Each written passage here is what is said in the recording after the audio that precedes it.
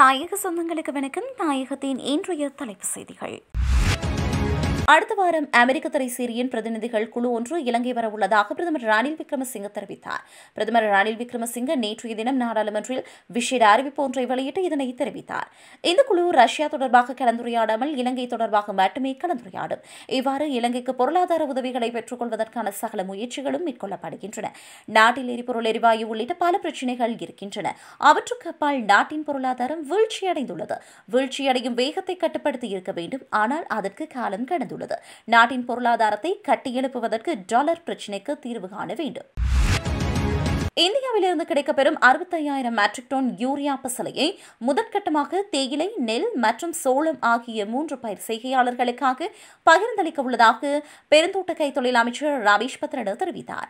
நாடாளுமன்றில் நேற்று உரையாற்றிய போது இதனை கூறினார். இதன்படி தேயிலை பயிர் செய்கைக்காக இருபதாயிரம் மெட்ரிக் டன் யூரியா பசலை பகிர்ந்தளிக்கப்பட உள்ளது. நெற்பயிர் செய்கைக்காக நாற்பதாயிரம் மெட்ரிக் டன் பசலையும் சோளச் செய்கைக்காக ஐயாயிரம் மெட்ரிக் டன் பசலையும் பகிர்ந்தளிக்கப்பட உள்ளதாக அமைச்சர் ரமேஷ் பத்ரன் தெரிவித்தார்.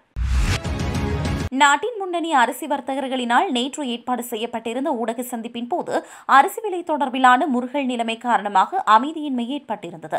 அரளிய அரிசி ஆலை உரிமையாளர் டாட்லி ஸ்ரீசீன மற்றும் நியூ ரத்ன அரிசி ஆலை உரிமையாளரான லங்கேஸ்வர மித்ரபால ஆகியோருக்கு இடையில் இந்த வாக்குவாதம் இடம்பெற்றுள்ளது. அரிசி விலை அதிகரிப்பிற்கு இடமளிக்கப் போவதில்லை என கூறி அந்த செய்தியாளர் சந்திப்பிலிருந்து டாட்லி சிறிசேன வெளியினார். எதிர்வரும் மூன்று மாத காலம் வரை அரசின் கட்டுப்பாட்டு விலைக்கு அமைவாக அரிசியை விற்பனை செய்யாத நெல் ஆலைகளை அரசாங்கத்திற்கு பொறுப்பேற்குமாறு அவர் கோரிக்கை விடுத்துள்ளார். எவ்வாறாயினும் இந்த செய்தியாளர் சந்திப்பில் பங்கேற்று நியூ ரத்ன அரிசி ஆலை உரிமையாளர் லங்கேஸ்வர மித்ரபால அரிசியை கட்டுப்பாட்டு விலைக்கு வழங்க முடியாது என அறிவித்தார். கொழும்பு காலிமுகத்திடல் மற்றும் அலரி மாளிகை கரையில் மே ஒன்பதாம் தேதி இடம்பெற்ற வன்முறை சம்பவங்கள் தொடர்பில் குற்றம் சுமத்தப்பட்டுள்ள முன்னாள் அமைச்சர் ஜான்ஸ்டன் பெர்னாண்டோவை தலா பத்து மில்லியன் ரூபாய் பெறுமதியான இரண்டு புதிய சரீர பிணைகளில் விடுவிக்க கொழும்பு கோட்டை நீதிவான் நீதிமன்றம் உத்தரவிட்டுள்ளது. ஏற்கனவே அவர் மேன்முறையீட்டு நீதிமன்ற உத்தரவின்படி கொழும்பு கோட்டை நீதிவான் நீதிமன்றில் சரணடைந்ததை அடுத்து அவருக்கு பிணை வழங்கப்பட்டது. இந்த வழக்கு மீண்டும் அழைக்கப்பட்ட போது அவரை புதிய பிணையில் விடுவிக்க உத்தரவிடப்பட்டது. மேலும் ஒவ்வொரு மாதத்திலும் வரும் கடைசி ஞாயிற்றுக்கிழமை நிலையில் குற்றப்புலனாய்வு திணைக்களத்தில் பிரசனமாக வேண்டும் என்று உத்தரவிடப்பட்டுள்ளது. கொழும்பு மத்திய அஞ்சல் பரிமாற்றகத்தில் நெதர்லாந்திலிருந்து கிடைக்கப்பெற்ற பொதியொன்றிலிருந்து பெருந்தொகையான போதி மாத்திரைகள் மீட்கப்பட்டன.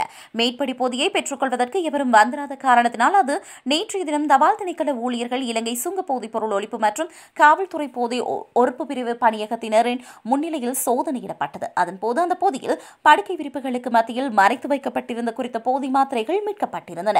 குறித்த பொதியிலிருந்து பதிமூவாயிரத்து அறுநூற்று நாற்பது மெதம்பிடைமைன் அல்லது எக்ஸ்டசி எனப்படும் போதி மாத்திரைகள் மீட்கப்பட்டன. மட்டக்களப்பு வெள்ளாவெளி காவல்துறை பிரிவிற்குட்பட்ட தௌலானி பகுதியில் மின்னல் தாக்கி முப்பது மாடுகள் ஒரே தடவையில் உயிரிழந்துள்ளன. மட்டக்களப்பு அம்பாறை எல்லைப் பகுதியான குறித்த பகுதியில் மேய்ச்சல் தரை பகுதியில் மரங்களின் கீழ் நின்று முப்பது மாடுகளே இவ்வாறு நேற்று முன்தின மாலை மின்னல் தாக்கி உயிரிழந்தன. இரண்டு கால்நடை பண்ணையாளர்களின் மாடுகளே இவ்வாறு உயிரிழந்ததாக தெரிவிக்கப்படுகிறது. இது தொடர்பில் போரத்தீவு பற்று பிரதேச செயலகம் மற்றும் கால்நடை திணைக்களம் ஆகியவற்றின் கவனத்திற்கு கொண்டு செல்லப்பட்டுள்ளதாக கால்நடை பண்ணையாளர்கள் தெரிவிக்கின்றனர். இலங்கை சுழற்பந்து வீச்சாளர் வனிந்து ஹசரங்கடி சில்வா சர்வதேச இருபதுக்கு இருபது பந்து வீச்சு தரவரிசையில் முதல் பத்து இடங்களுக்குள் ஒரு இடம் முன்னேறியுள்ளார். தற்போது தரவரிசையில் அவர் ஆறாவது இடத்தில் உள்ளார். இந்த பட்டியலில் ஆஸ்திரேலிய வீரர் ஜோஸ் ஹேசி வுட் முதலிடத்தில் உள்ளார். டாலரை ஈட்டுவது தொடர்பிலான திட்டத்தை எதிர்வரும் இரண்டு வார கால பகுதியில் முன்வைப்பதற்கு நடவடிக்கை எடுக்க உள்ளதாக ஸ்ரீலங்கா பொதுஜன பெருமுனவின் தேசிய பட்டியல் நாடாளுமன்ற உறுப்பினராக பதவியேற்றுள்ள தாமிக பெரீரா தெரிவித்துள்ளார். முன்னாள் நிதியமைச்சர் பசல் ராஜபக்ஷ தேசிய பட்டியல் நாடாளுமன்ற உறுப்பினர் பதவியிலிருந்து விலகியதை அடுத்து அந்த பதவிக்கு ஏற்பட்டுள்ள வெற்றிடத்திற்கு தாமிக பெரேரா நேற்று சத்திய பிரமாணம் செய்து கொண்டார். நாடாளுமன்ற உறுப்பினராக பதவியேற்பதற்கு முன்னர் அவர் தமது சொத்து விவரங்கள் தொடர்பான தகவல்களை சபாநாயகரிடம் கையளித்தார். யுத்த காலத்தின் போது தாம் முதலீட்டு சபையின் தலைவராக செயற்பட்டிருந்தமையினால் தற்போது வெளிநாட்டு முதலீடுகளை அதிகரிப்பதற்கான நடவடிக்கையினை எடுக்க முடியும் என நாடாளுமன்ற உறுப்பினர் தம்மிக்க பெரேரா தெரிவித்தார். தமக்கு இந்த உறுப்புரிமை கிடைத்தமைக்கு முன்னாள் அமைச்சர் பசல் ராஜபக்சவுக்கு நன்றி தெரிவிப்பதாக அவர் கூறினார். தமிழ்நாட்டிலிருந்து இரண்டாவது கட்டமாக இலங்கைக்கான நிவாரணப் பொருட்கள் கப்பலில் அனுப்பி வைக்கப்பட்டுள்ளன. இலங்கை மக்களுக்கு உதவும் வகையில் தமிழக அரசு சார்பில் அத்தியாவசிய உணவு மற்றும் மருந்து பொருட்கள் உள்ளிட்டவை அனுப்பி வைக்க சட்டசபையில் முதலமைச்சர் மு க ஸ்டாலின் முன்வைத்த பிரேரணை அண்மையில் நிறைவேற்றப்பட்டது. இந்திய ரூபாவில் எண்பது கோடி மதிப்பிலான நாற்பதாயிரம் மெட்ரிக் டன் அரிசி ரூபாய் இருபத்தி எட்டு கோடி மதிப்பிலான ஐம்பது மெட்ரிக் டன் பால்மா ரூபாய் இருபத்தெட்டு கோடி மதிப்பிலான நூற்று முப்பத்தி ஏழு வகையான மருந்து பொருட்கள் உள்ளிட்ட நிவாரணப் பொருட்கள் அனுப்பப்படும் என சட்டசபையில் முதலமைச்சர் ஸ்டாலின் தெரிவித்தார். ஹட்டன் போலீஸ் பிரிவிற்குட்பட்ட டிகோயா தரவலை கீழ்பிரிவு தோட்டத்தில் உள்ள நெடுங்குடியிருப்பில் நேற்று அதிகாலை ஏற்பட்ட தீ விபத்தில் நான்கு வீடுகள் பகுதியளவில் சேதமடைந்தன. எனினும் தீ விபத்தின் போது எவருக்கும் காயங்கள் ஏற்படவில்லை என்பதோடு வீட்டு தளபாடங்கள் மாத்திரம் தீக்கிரையாகியுள்ளதாக தெரிவிக்கப்படுகிறது. குறித்த நான்கு வீடுகளிலும் இருந்து இருபது பேர் தற்காலிகமாக உறவினர்கள் வீட்டில் தங்க வைக்க ஏற்பாடுகள் செய்யப்பட்டுள்ளன. இவர்களுக்கான நிவாரண உதவிகளை நோர்வுட் பிரதேச சபை தவிசாளரும் ஹட்டன் டிகோயா நகரசபை உறுப்பினருமான எஸ். ரத்னகுமாரும் இணைந்து வழங்கியுள்ளனர். அடுத்த மாதம் இருபத்தி ஐந்தாம் தேதி முதிர்ச்சி அடையும் பிணைமுறைகளுக்கான கொடுப்பனவை செலுத்த தவறுகின்றமை தொடர்பில் பிணைமுறைக்கு உறுத்துடைய தரப்பு நியூயார்க் பிராந்திய நீதிமன்றில் வழக்கு தொடர்ந்துள்ளது. தற்போதைய பொருளாதார நெருக்கடிகளை கருத்தில் கொண்டு வெளிநாட்டு கடன்களை தற்காலிகமாக செலுத்த முடியாது என மத்திய வங்கி அறிவித்திருந்தது.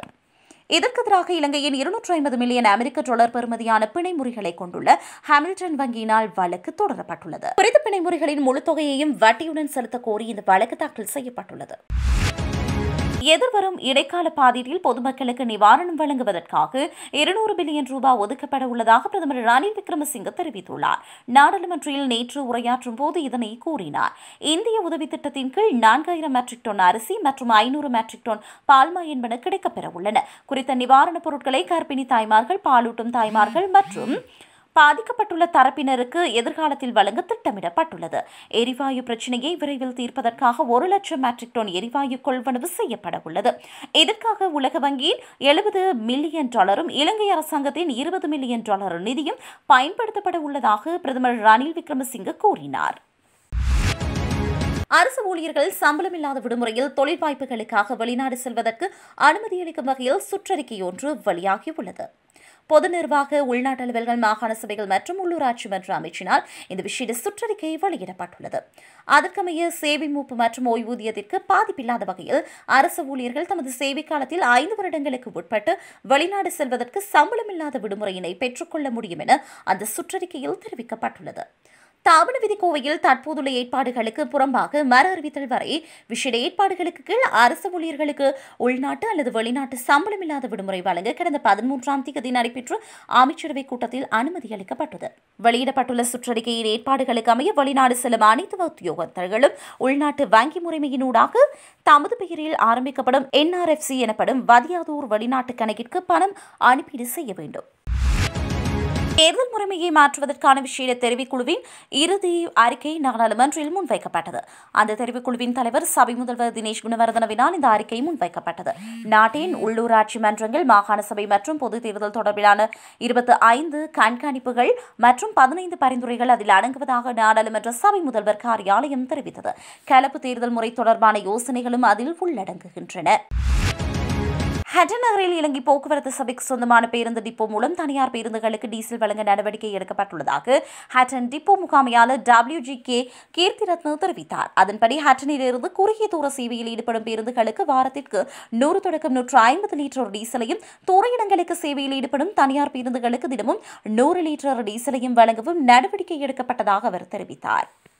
இவ்வாறு தினமும் இருபது தொடக்கம் முப்பது பேருந்துகளுக்கு டீசல் வழங்க நடவடிக்கை எடுக்கப்பட்டுள்ளது. இதில் முன்னுரிமை அளிக்கப்பட வேண்டிய பேருந்துகள் தொடர்பான சுற்று நிருபம் ஹட்டன் தனியார் பேருந்து சேவை அலுவலகத்திடமிருந்து கோரப்பட்டுள்ளது எனவும் அவர் கூறினார். நாட்டுக்கு ஒரு லட்சம் மெட்ரிக் டன் எரிவாயுவை இறக்குமதி செய்ய உலக வங்கி எழுபது மில்லியன் அமெரிக்க டாலர்களையும் இலங்கை அரசாங்கத்தின் இருபது மில்லியன் அமெரிக்க டாலர் நிதியையும் வழங்க உள்ளதாக பிரதமர் ரணில் விக்ரமசிங்க தெரிவித்துள்ளார். நாடாளுமன்றில் ஆற்றிய விசேட உரையில் பிரதமர் ரணில் விக்ரமசிங்கே இதனை தெரிவித்தார். இதனூடாக எரிவாயு பிரச்சினைக்கு விரைவில் தீர்வு காண முடியும் என்றும் பிரதமர் வலியுறுத்தினார். இதுவேளை இடைக்கால பாதீட்டில் பொதுமக்களுக்கு நிவாரணம் வழங்குவதற்காக இருநூறு பில்லியன் ரூபாய் ஒதுக்கப்படும் என்றும் பிரதமர் தெரிவித்தார். பெருந்தோட்ட பகுதிகளில் உள்ள தோட்டப்புற வைத்தியசாலைகளை அரசாங்கம் உடனடியாக பொறுப்பேற்க வேண்டும் என்று இலங்கை தொழிலாளர் காங்கிரசின் பொதுச் செயலாளரும் நாடாளுமன்ற உறுப்பினருமான ஜீவன் தொண்டமான் கோரிக்கை விடுத்தார். நாடாளுமன்றில் நேற்று இடம்பெற்ற அமர்வில் கலந்து கொண்டு உரையாற்றும் போது இதனை தெரிவித்தார். நாட்டில் ஏற்பட்டுள்ள பொருளாதார நெருக்கடி நிலைமைக்கு மத்தியில் மலையக மக்களுக்கான சுகாதார சேவையினை உறுதிப்படுத்துவதற்காக அரசாங்கம் இந்த நடவடிக்கையை எடுக்க வேண்டும் எனவும் அவர் வலியுறுத்தினார். கொழும்பு கோட்டை மற்றும் தலங்கம பிரதேசங்களில் கடந்த மாதம் ஆறாம் மற்றும் ஒன்பதாம் திகதிகளில் இடம்பெற்ற கலவரம் தொடர்பில் கைது செய்யப்பட்ட ரெட்டா என அழைக்கப்படும் ரணிந்து சேனாரத்ன உள்ளிட்ட ஏழு சந்தேக நபர்களை எதிர்வரும் ஜூலை மாதம் முதலாம் தேதி வரையில் விளக்கமறியலில் வைக்குமாறு கோட்டை நீதவான் நீதிமன்றம் உத்தரவு பிறப்பித்துள்ளது. நேற்று காலை சட்டத்தரணியூடாக மருதானை காவல் நிலையத்தில் சரணடைந்த நிலையில் சந்தேக நபர்கள் கைது செய்யப்பட்டனர். சட்டவிரோத ஒன்று கூடல்களை ஏற்பாடு செய்தமை உள்ளிட்ட குற்றச்சாட்டுகளில் இவர்கள் கைது செய்யப்பட்டனர். ஈடுபட்டுள்ளனர் கடந்த ஆறு மற்றும் ஒன்பதாம் திகதிகளில் கொழும்பு கோட்டை மற்றும் தலங்கம காவல்துறை பிரிவிற்குட்பட்ட பகுதிகளில் இடம்பெற்ற வன்முறை தொடர்பில் சமூக செயற்பாட்டாளரான ரெட்டா எனப்படும் ரணிந்து சீனாரத்ன அனைத்து பல்கலைக்கழக மாணவர்கள் சம்மேளனத்தின் அழைப்பாளர் வசந்த முதலிகை உள்ளிட்ட சந்தேக நபர்கள் ஒன்பது பேரை கைது செய்து நீதிமன்றில் முன்னிலைப்படுத்துமாறு கோட்டை நீதவான் நீதிமன்றம் அண்மையில் உத்தரவு பிறப்பித்திருந்தது. இத்துடன் செய்திகள் நிறைவு பெறுகின்றன. செய்திகள் அனைத்தையும் உடனுக்குடன் அறிய தாயகம் செய்தி சேவையோடு தொடர்ந்தும் இணைந்திருங்கள். மற்றும் தாயகம் செய்தி சேவையை சப்ஸ்கிரைப் செய்து கொள்ளுங்கள்.